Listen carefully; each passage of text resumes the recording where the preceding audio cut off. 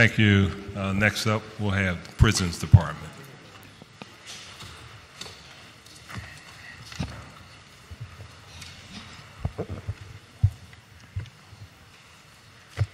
Good morning, Morning. Council President Clarke and members of City Council. I am Blanche Carney, Commissioner of the Philadelphia Department of Prisons. Joining me today to my left is Deputy Commissioner Terrence Clark, and to my right, Errol Dika, Financial Officer. I'm pleased to provide testimony on the uh, Philadelphia Departments of Prisons fiscal year 2020 operating budget. Uh, The the mission of the Philadelphia Department of Prison provides a secure correctional environment to detain people accused or convicted of illegal acts. And the PDP operates five facilities in the greater Northeast. We also provide programs and services, including job training, educational services, parenting classes, substance abuse services, behavioral therapy, and counseling, individual and group therapy. The plan for fiscal year 2020 the prisons will support the administration's goal of criminal justice reform by continuing to offer programs and services to de- design to enable the successful reentry of returned citizens into society. This continuity of care starts while individuals are incarcerated and links them to services and support when they leave the prison system, with the ultimate goal of reducing recidivism and decreasing the number of incarcerated individuals in Philadelphia.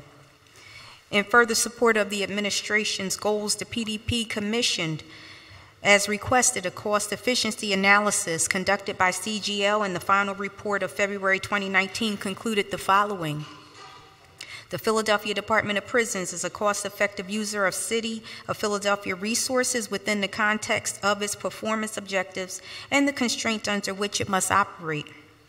While potential opportunities are available to achieve some savings, the overall PDP budget supports an efficient approach to management of the city's correctional system.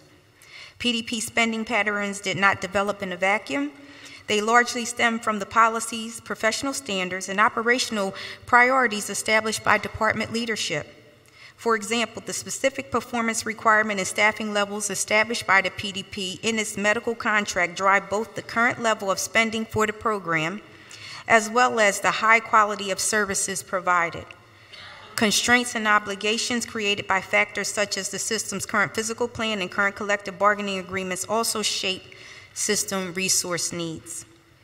As the PDP was compared to other jurisdictions from around the country, we believe that this was an appropriate assessment of our operations. The proposed funding requests for fiscal year 2020 general funding totals 2,338,183, $523, a decrease of 11,968,714 below fiscal year 2019 estimated obligation levels. This reflects a net decrease of 22.7 million from fiscal year 17 high point in obligations of 260 million dollars. Factoring in wage increases in fiscal year 18, 19, and 20 that offset reductions, a total of 40.1 million in wage increases, along with the House of Correction utility savings to close, excuse me, close to 900,000 dollars. The true cost reduction in fiscal year 20 as compared to fiscal year 17 high point exceeds 60 million dollars. So we have uh, been diligent in managing the operations of the Philadelphia Department of Prisons. The same folks, um, as indicated and reflected in narrowing, council's narrowing the gap report, those are the same folks that are finding themselves incarcerated at the prisons. Appreciate that. Okay, Okay. you done? Yes, sir. All right, thank you. So, and thank you, thank you for your service. Um, let me get into some budget issues. So, last year, um, crunch time, i.e., conclusion of the budget, there was some shifting of revenues based on and appropriations based on the need to close the school district gap.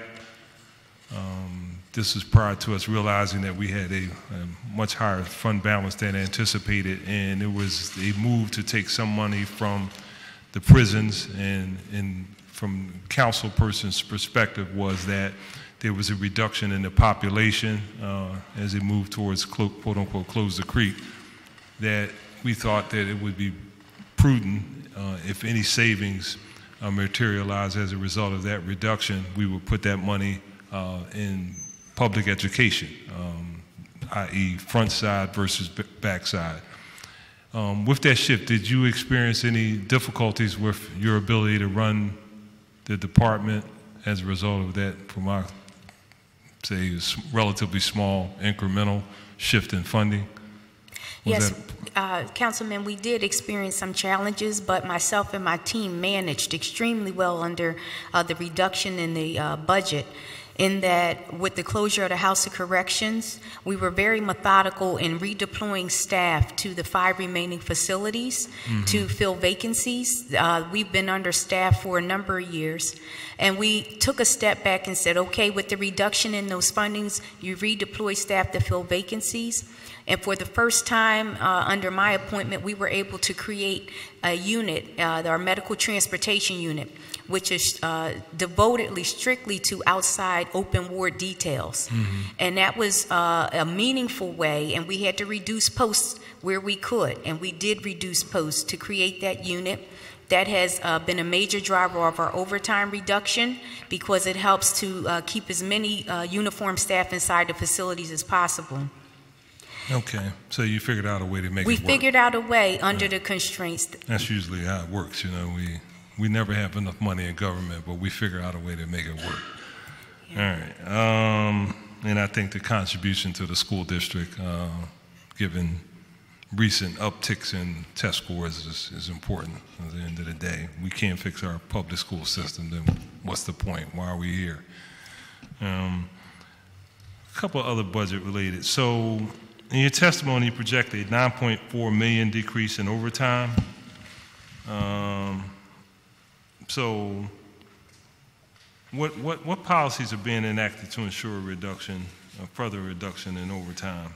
Um, and do you believe that this reduction is enough, given the con- continual decline in the prison population? So there should be a, from our perspective, and like you're the professionals, we're the lay people in that aspect. But we believe that the, the population declines, then there should be a corresponding reduction in um, expenditures. Can you talk me through that? Yes, I can. Uh, Council President, one of the uh, hallmarks of our, our reallocation and redeployment of staff, and it was recently in the PICA report, and just in for this third quarter, uh, we have reduced overtime spending considerably. And one of the uh, policies that we've implemented is to keep as many uniform staff inside the facilities and closing posts that, uh, if they're not in operation for various programs and services, we close those posts and then redeploy staff accordingly. One of the biggest things that we always have to keep in the forefront it is this, it is a correctional environment. And along with industry standards is to bring inmates out of their cell to be engaged in meaningful activity, both recreational, uh, treatment, behavioral health, substance use, and education. And so when we're able to have as many inmates out, the staff are redeployed accordingly. And that's a major driver of reducing uh, not only the inmates being able to come out, but also having the staff available. And so with the 5% vacancy rate, that's how we're actually managing because that MTU unit, the medical transportation unit, has, has really taken some of that heavy lift and burden off of the officers that we have to remove from the staff. And that's a major driver. And that's how we've been managing. We've been very diligent and cost effective in evaluating posts that we can safely uh, close or deactivate if there's no activity. Okay, thank you. Um, the medical contract, um, I think there's been about 15 years since the last bid on medical contract. Is there any thought about rebidding, or is that number incorrect? Rebidding our medical contract? Yes, we will issue that uh, contract through an RFP. And I'd just like to share, because that's been of a major concern, uh, when you talk about the numbers in the care, the same folks that are in the Department of Prisons, if you overlay that on the areas Uh-huh. that have high poverty rates, they're the same folks. And I'd just like to read, uh, as part of our CGL analysis, Uh, As indicated, language from page 28 of the CGL Cost Efficiency Analysis February 2019 report, and this reflects the Corizon Composition of Fees section. Approximately 55% of the annual contract fees relating to physical medical care services are comprised of personnel costs. This is consistent with prior years with the similar contracts and comparable systems. As administrative and corporate fees are fixed, nearly 75% of the contract costs are fixed and not of variable nature. A reduction in the inmate population will not translate into a proportional reduction in either the cost per inmate or overall cost. The MHM contract has a similar structure. Both contracts require payment of incurred expenses only, so that if post, excuse me, so that if positions are not filled, 100% of the consequent savings accrue to the city. On page 29 of the same report, providing quality medical and mental health care is one of the most difficult, challenging challenges facing correctional managers today. While no system is perfect, the PDP developed a sound, sustainable system for delivery of good quality jail care with substantial decreases uh, to the city's potential risk for litigations. Across the, the uh, nation, some of my peers are under uh, litigation because of the poor quality of health care. Those folks that we bring in, again, a majority of those conversation, uh, excuse me, um, contracts are for pers- personnel to deliver and render the care. And we're getting, we're receiving people that are underinsured, have never uh, been treated or properly diagnosed. So when they come in, I have a personal responsibility. I, I work with human beings. I don't deal with numbers. And so when we have illness burdens for people with diabetes, uh, high blood pressure, sickle cell, dialysis, and behavioral health, and substance use, treat, uh, subs, substance use, I have to deal with that. And so that keeps me up at night when people are coming in in poor condition. The onus is on me to ensure that if they did not receive the care for whatever reason, poverty, underemployment, lack of insurance, when they come to the Philadelphia Department of Prisons, that's the right thing to do. And it is not cheap. And, and the services that we receive, you get what you pay for. And I really try to champion that because I don't want to have a, a, a grade F in healthcare and behavioral health care because we have some of the highest poverty numbers. Those are the same folks that are inside the department. And they should be better off when they return back to their communities. And, and behavioral health and medical care are huge drivers of that cost. Okay, great. Refreshing, refreshing approach uh, to dealing with that population. Um, not just about the numbers, but about the total rehabilitation of individuals. Um, which I'm glad you referenced the uh, document, the uh, reducing poverty, closing, narrowing the gap, is one of the things that we are focusing on. Um, is providing uh, family sustaining uh, career opportunities for those individuals that are moving into the, the general population, i.e., uh, the city's workforce. Um, and it was actually a conversation uh, with one of the labor leaders who recommended that we work on that in the construction trades because we thought that uh, the population might be well suited to be a participant in that. So we're going to be working towards that. Um, the simple reality is, is if we really are genuine about the recidivism issue, um, we have to be real about creating those opportunities because unfortunately, uh, too often, um, people aren't given a second or a third chance coming in that population, and ultimately people will go back, right, or end up, unfortunately, in, uh, in a much worse uh, situation. Um, we actually were talking about, uh, we just met recently with a, a group of individuals who represent uh, the Apartment Owners Association and the housing, and there were some aspects of it, and actually within some components of the government, where if individuals have records, um, that they're not allowed to get an apartment. Yep. And the simple reality is, if you know you don't give a person a place to live, particularly an affordable place to live, the likelihood that they will not uh, have the comprehensive uh, approach to uh, rehabilitating themselves is limited. So we will be um, reaching out to you. We've had a couple of meetings, and we laid out our proposal uh, in terms of what we think should happen. Um, we actually kind of a block the box proposal where you take a an application for an apartment, and you can't ask that person about that uh, at your first opportunity for an application because we know how it was with jobs. You fill that, check the box. Um, if that box is there, you got to tell the truth. But if the box is not there, it might actually get you a second opportunity to have for a further interview.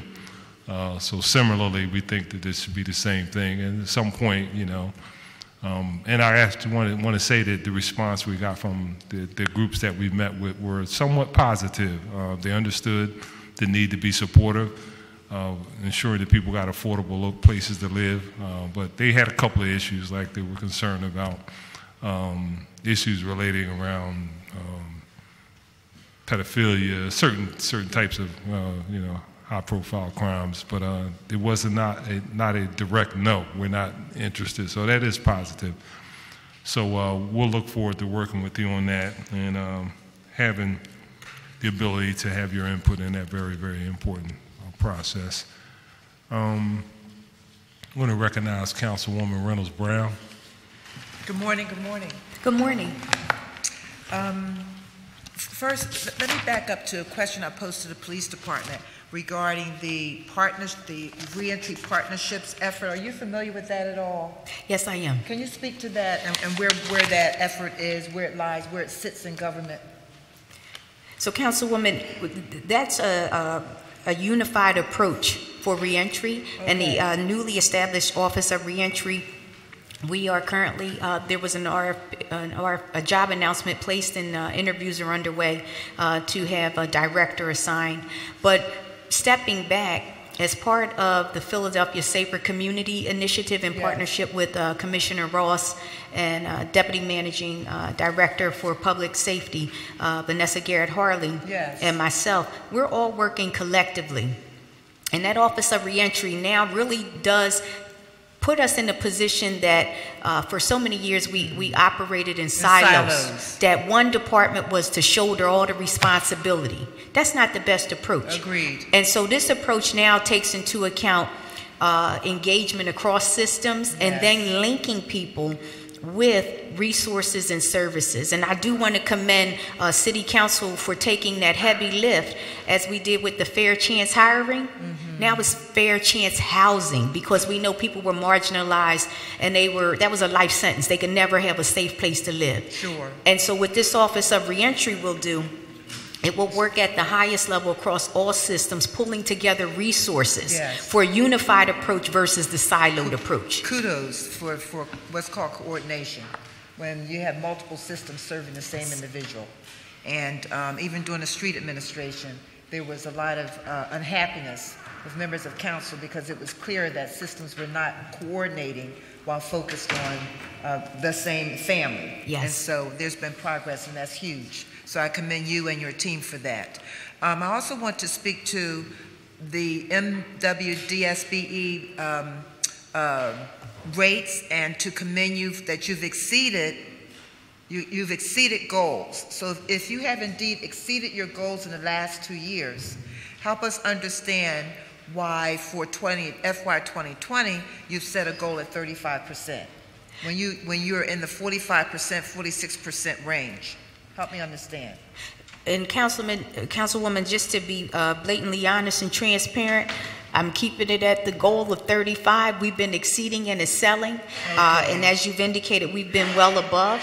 And I, you- okay, we'll always uh, go over that goal of 35. That's the only reason why it hasn't changed. Okay. And I haven't raised it. It's, it's, it's refreshing to, to see department heads, those who lead major organizations, who, who, who, who set the goals and then don't come back with excuses, but exceed the goals, which means you have to be intentional because it's not going to happen organically.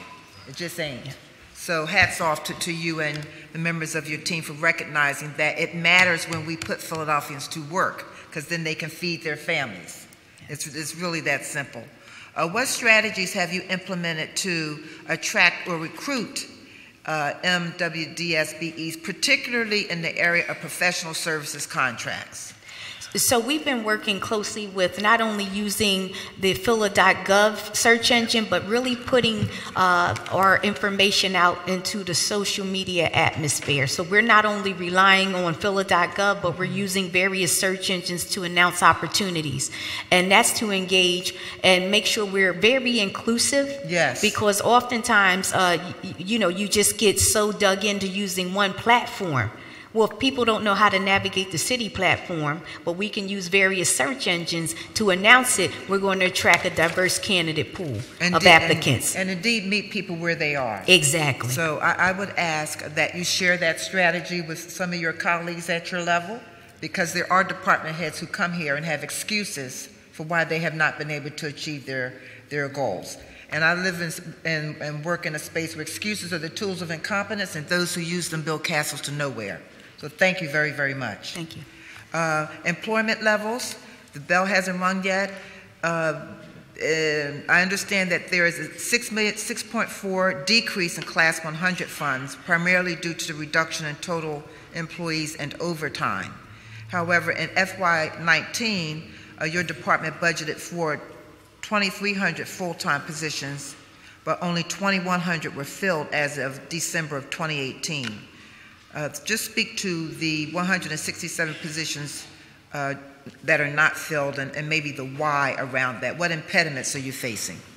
So, Councilwoman, those positions are, uh, came primarily with the House of Corrections. And so with the closure of the House of Corrections, those are those positions. I see. And so, um, once we closed the House of Corrections, uh, those positions went away, and then the staff were redeployed to the five remaining facilities to fill vacancies. I see.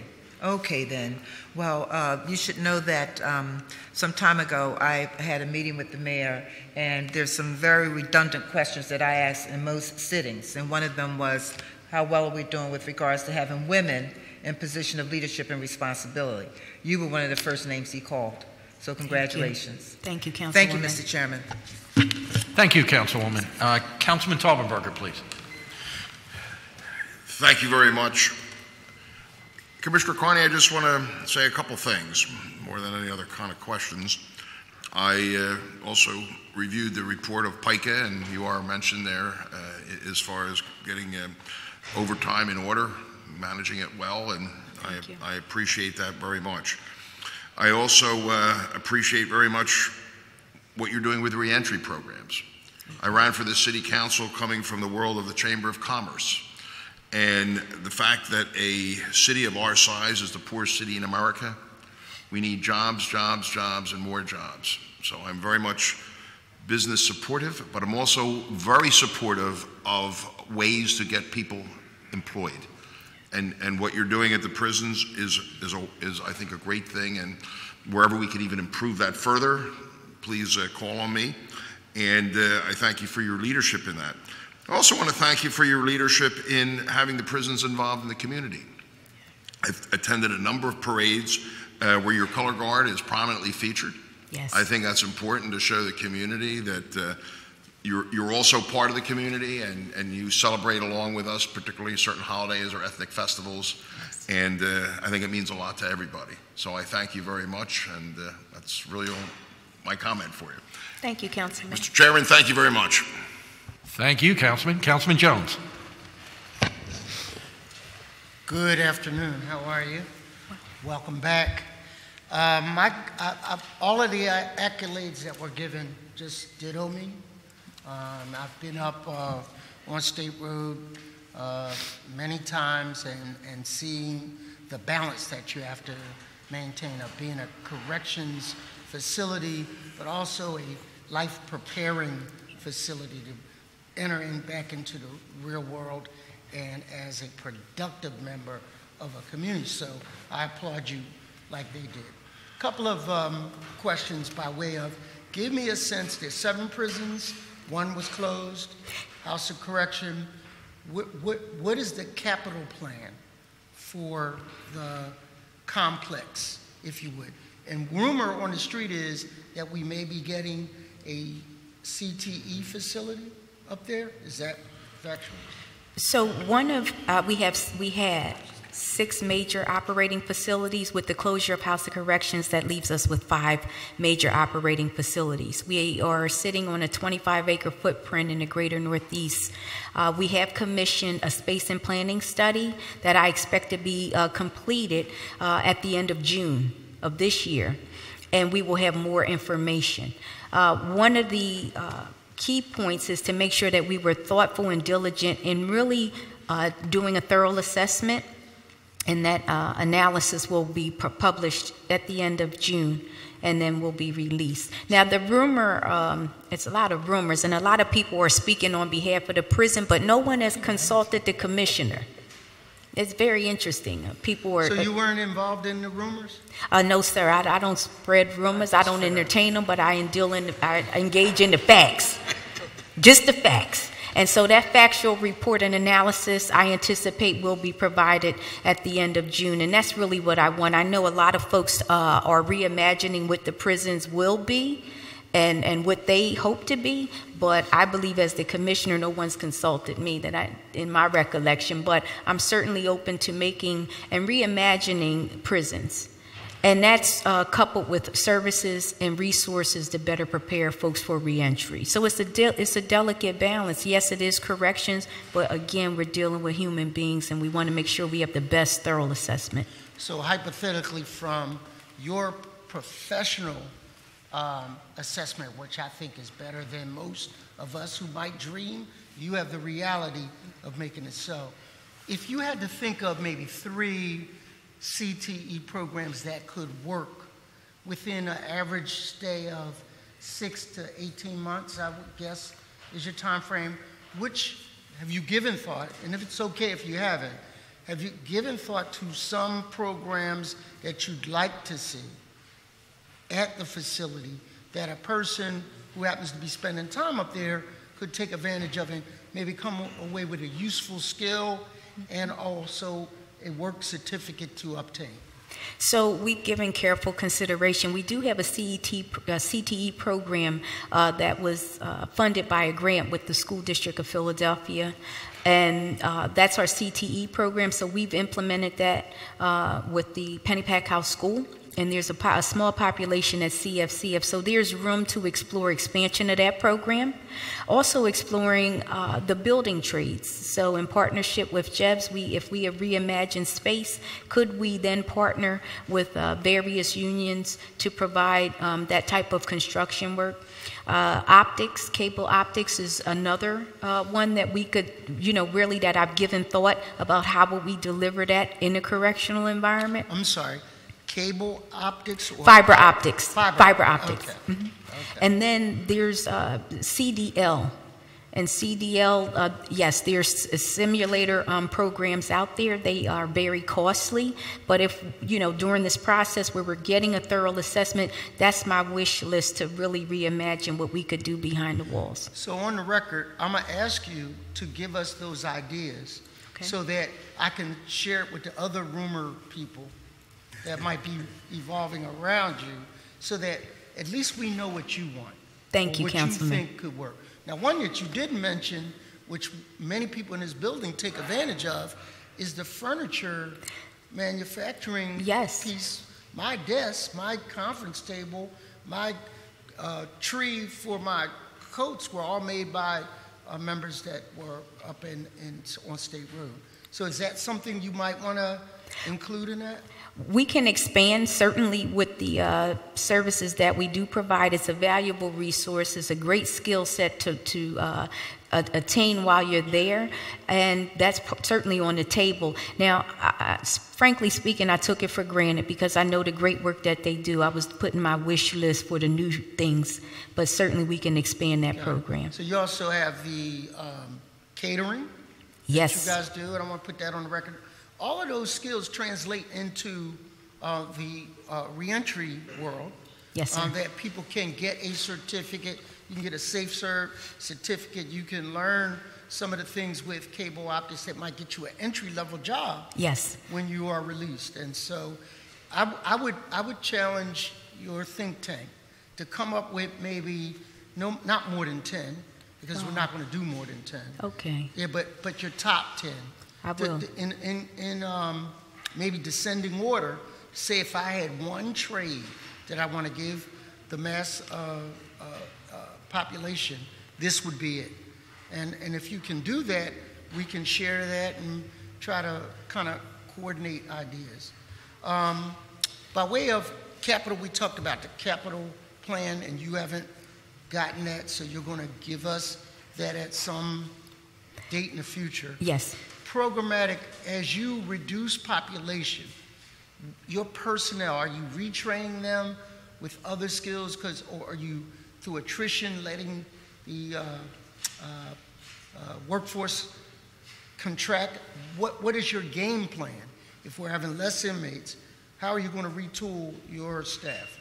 I'm glad you asked. So, over the since September of 2018, we implemented crisis intervention training. We were always understaffed and uh, outpaced through the population. So now that the population has been reduced by 43%, it gives us an opportunity to step back and do viable training, not just safety, care, and control, but now doing more thoughtful evidence-based training, crisis intervention training in a correctional environment looks different in other departments. And so someone not following an order, it's not simply they're not following, is it that they don't have the cognitive ability? There's some impairment, behavior health, physical health. So I'm, I'm pleased to say we have our third co cohort of staff, multidisciplinary team that have been trained in CIT. They receive a PIN. Not everyone can uh, respond, and those staff are specifically called to de escalate and assess the situation, thus reducing uh, use of forces. So I'm going to yield. I'm have. There's no one to yield to if you want to continue. Uh, okay. I, I thought you might. That's why I mentioned it. i start. Okay. So, um, if you say so. so, so continue on and then. And so we also have implemented uh, since last year the performance excellence training, which is for every correctional or in multidisciplinary supervisor at the department to do more coaching and use real life scenarios so where we can coach folks for them to gain skill sets interact better with uh, between labor and management that's also underway the uh, another proud um, piece we're, we're really taking hold of is our MAT program, our medication assisted treatment program. It takes correctional officers in addition to our uh, mental health and physical health care provider to make services run. It's incumbent upon us that as we're rolling out initiatives and new programs, that the uniform staff have just as much information as possible because it really is reshaping corrections. It's not punitive, it's very therapeutic, coupled with safety and security. And so, as we deliver these programs, correctional staff are right alongside. In addition to the medication assisted treatment, we also have our Time Out of Cell program.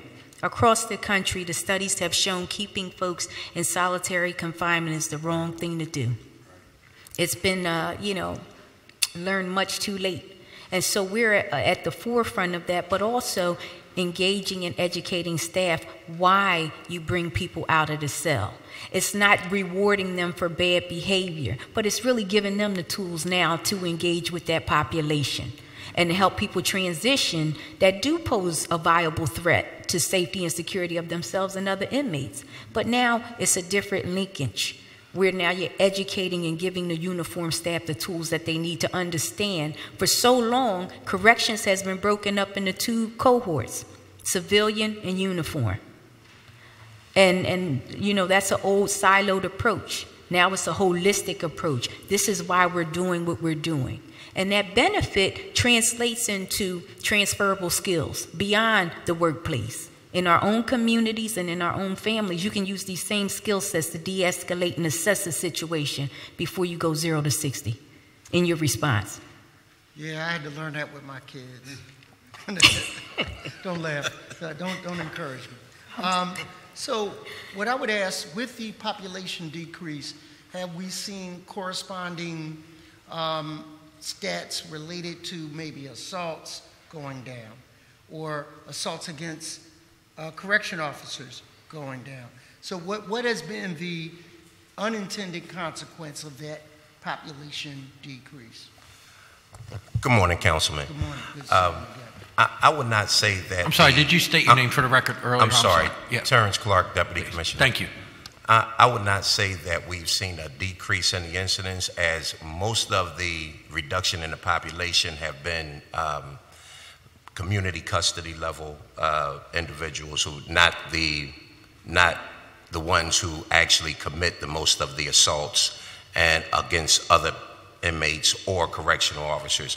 We still maintain the most uh, violent individuals still in custody. So they, they still have those types of problems. However, as the commissioner did mention, with the uh, CIT training, that's another tool for the correctional officers, and, and it's actually working out pretty good. It doesn't mean that we're not going to have uses of force, because we will still have it. It's not going to work every single time, but it's something that we can, that the staff has, the people who have had the training, they actually enjoy the opportunity to use the CIT training, and they, we kind of have a little blog within the, the prisons where we kind of report out. I myself have been through the training, um, multiple supervisors um, of the higher level have been through the training because if we just train the correctional officers and their supervisors don't understand what's going on, the supervisor will walk up and just say pepper spray when they're in the middle of trying to uh, use the crisis intervention training. And many times, uh, basically all it is, is is for the correctional officer or the staff to stop and think for a minute before indulging in the use of force. Sometimes, if a person re- is refusing to go into a cell, mm, that's, that's a problem, but it's not always that we have to get them in the cell right at that moment. Maybe everybody else is locked in. And maybe that individual has a reason that he doesn't want. Maybe his cellie told him he was going to assault him if he came in the cell. But if you don't stop to talk to him, you'll never know that. So the reduction in the population has afforded us with opportunities for new opportunities for training of staff, um, more space for programming, um, and and to basically to, to redeploy the staff in a more meaningful way and, and to reduce our vacancies. So how do you compare in deaths while incarcerated from year to year? Is it declining? What's going on with that? It, it is declining when we compare it to the national average per 1,000 of, of uh, residents. One of the things I do want to uh, really put on the table here staff wellness. And so it's not just about uh, the, the inmate population and all the programs and services that we're providing, but every program that we introduce, there's a staff wellness component to it because working in a correctional environment can be challenging to say the least. But when you take into account staff wellness, why are we doing what we're doing? Why are we introducing all of these programs? We have one of the challenging jobs in keeping people safe and keeping them properly secured who, if they had an opportunity, they'd be gone and just, you know, walk through the gate. But one of the things is staff wellness, and that's a byproduct of giving the staff the tools to de escalate to engage the population and that we can coexist. Safety, security, staff wellness, top priorities. And that's how you run an effective, efficient correctional department. When we talk about deaths, we, we are uh, low in comparison to other jurisdictions. We have implemented from lessons learned. Uh, you can't always prevent, but you can intervene. What is it that we need to look for? Um, there's this misconception that you can always recognize someone that wants to commit suicide. And that's not true because people exhibit in very different ways. Some folks you'll see a complete change in their affect where you know if you were uh, a jovial person, but now your affect has changed. But then it's the reverse. The person was quiet, all of a sudden they're the happiest person in the world. Those are things that we look to educate staff. And that's why you have to give the correctional uh, uniform staff those tools. So, because they're on those units with those folks and they'll be able to engage. One death is one too many, but you're always on alert being uh, aware, looking at changes in individuals, uniform staff, contracted behavioral health staff, social service staff, it all has to work in unison to intervene in decreasing uh, suicides in jail. Uh, I would strongly, you know, not definitively say you will eradicate it. No, because we deal with human beings and they're multifaceted, dealing with a myriad of challenges. But it does put us in the best position to offer training so that we further decrease those numbers. One it up. And finally, Mr. Chairman, I'll, I'll never forget the first budget address of the mayor. And he talked about going to the school up on your facility, the high school, and how the young inmate said to him that he was finally getting geometry, understood the difference between uh, some of the uh, uh, hypothesis, something square that they teach, I forget. But he said that was the best school he had ever attended in his life. And it's a sad statement that some of our young people have to wait until uh, they're incarcerated to receive that type of education. But that's the one facility up on State Road I have not been in, and I want to take the opportunity to take a tour maybe this, this, this year uh, over the summer, if, if it's still open. Invitation stands. Yeah, but does it? is it Yes, open? it's, it's, it is open. We do have um, that Pennypack House School um, graduating. We, we just graduated uh, three young men uh, at PICC. And When's your next graduation? I would have to check for that date, Check and I'll invite you. Let me know. But I'd like to come up Yeah. prior to that just to see how it works. Okay. It was, uh, it made an impression upon the mayor, and I, and obviously it made an impression upon the young man that was staying there. So, thank you again. Thank you, Mr. Chairman. Thank you, Councilman, and thank you all. Thank you for Thank what you. you do, okay? Thank you very much. Okay. Uh, We're going to take a little longer break because the fire department, as the police were leaving to go there, the fire department is there now at the Blue Flame. So we're going to break till 2 PM. We will be back at 2 PM. Commissioner, thank you. Thank you all you. very much.